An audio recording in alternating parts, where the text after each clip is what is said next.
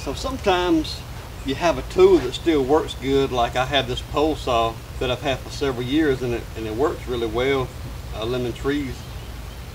But unfortunately it's got these older NICAD batteries that, and I have two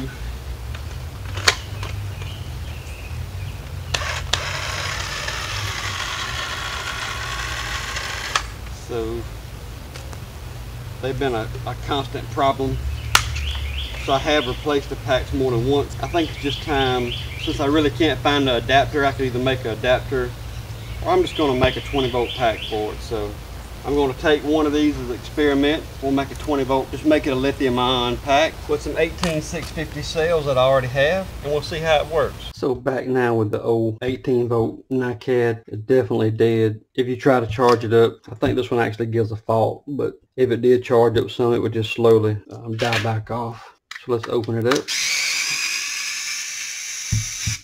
Regular T10 bit, it's not security.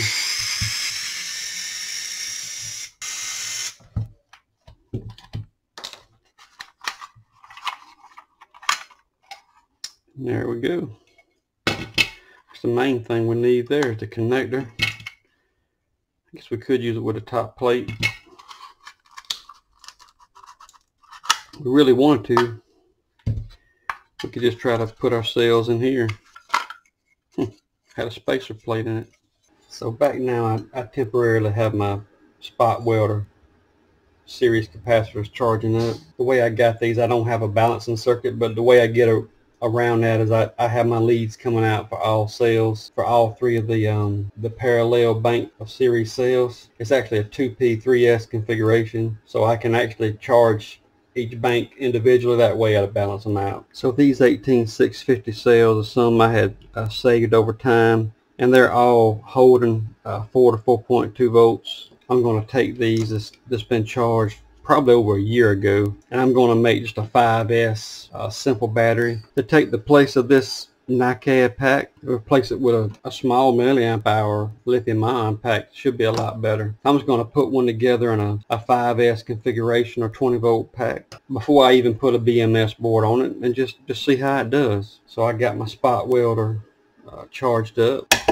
So I'm going to spot weld these together really quick and make a little 5S pack and by the way, I, I do have the makings of this uh, supercapacitor spot welder. If you're interested during this video, I do have a video in the making um, of this. I did put it in a case later. I mentioned that video to save time that I would add a case later. So this is just it with a diode added here for suppression across the solenoid coil. And it's just in a lightweight box.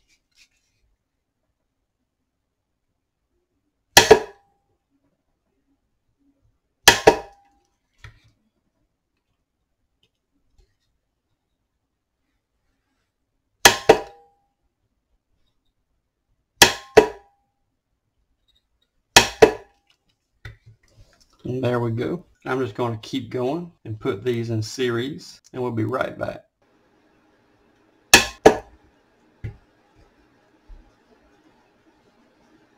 So there we go. I decided to do almost like a pyramid formation there. It'll fit in the uh, in the case very easily. So if we check it, we should have our 20 volts, 20.25 volts. So now we'll take this apart and make the connector work.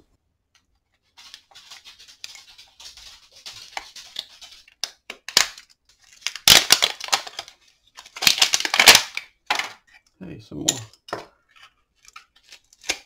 some more mica material.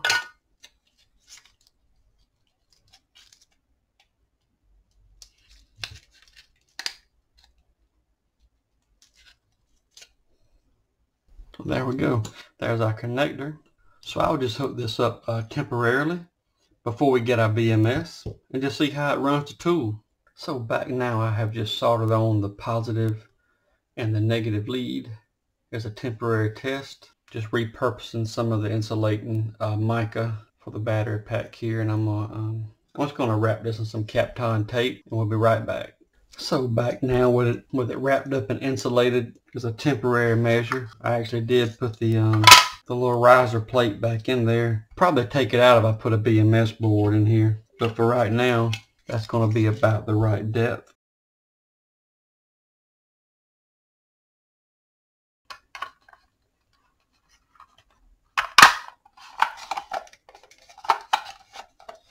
I'm just going to put a couple screws back in it and then we can test it out. Here is one of the original batteries. It won't even hold a charge at all. Just as a comparison here, we're at one pound and 14 ounces and this is the lithium pack. Of course I still have four of the screws out of it and I don't have a BMS board but we're at 14.2 ounces. So we're a pound lighter. This thing almost feels like an empty shell. I don't think I verified the voltage after I put it together, but you can see that we, we're right on 20.2425. So right on 20 volts.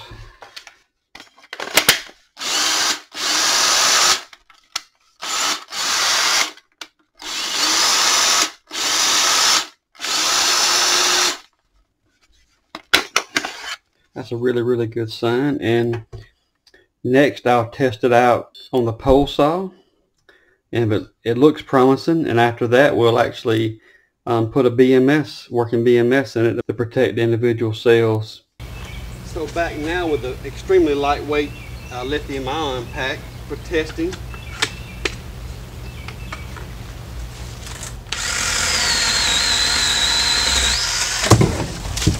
That's a lot better.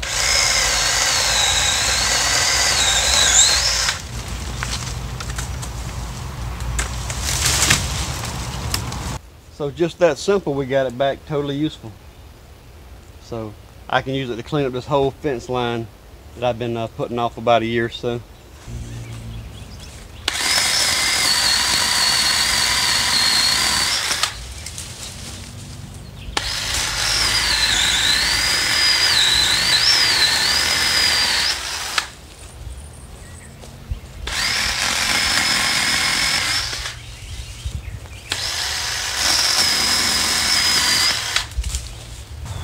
Hopefully get many more years of life out of the tool.